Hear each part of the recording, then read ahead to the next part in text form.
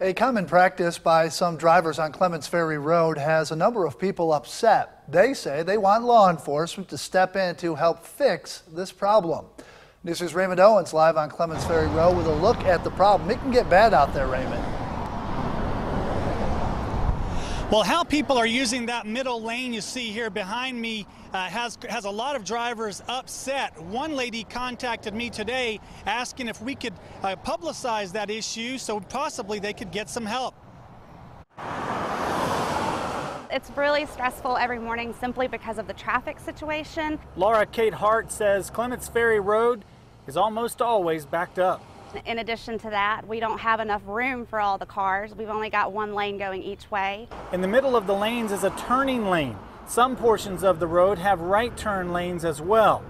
There is the problem. People have been using those as their own personal passing lanes, um, and it's become a really dangerous situation on a day to day basis. I, along with a lot of people that I know in the area, have young children. So she's concerned about a possible accident every morning I'm sitting in traffic with my five year old son in the back. But this morning I had one cut me off as they came over from the left lane or from the left in the turn lane um, that they were using. They were going about 10 to 20 miles per hour the whole way down, cut right in front of me, and literally almost caused an accident with my five year old in the car. She said it was actually a taxi driver. Laura Kate says a Berkeley County Sheriff's deputy did get involved with the driver who cut her off this morning and was in contact with their employer and was assured that it would be addressed through the employer.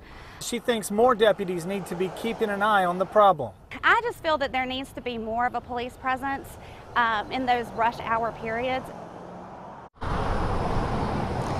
And joining me right now is Deputy Cephas Rogers with the Berkeley County uh, Sheriff's Office. Uh, Deputy Rogers, uh, you were able to help Laura Kate earlier today. Uh, tell me about this area, the Clements Ferry Road area. Are you guys doing more to try and fix this problem? Yes, we are. We're trying to use high visibility to combat the violations that occur. Unfortunately, we can't be everywhere at all times, but we're doing our best to deter these violations and to generate voluntary compliance by our drivers. There's no passing on Clements Ferry Highway, no passing. The median is for turning only in short distances.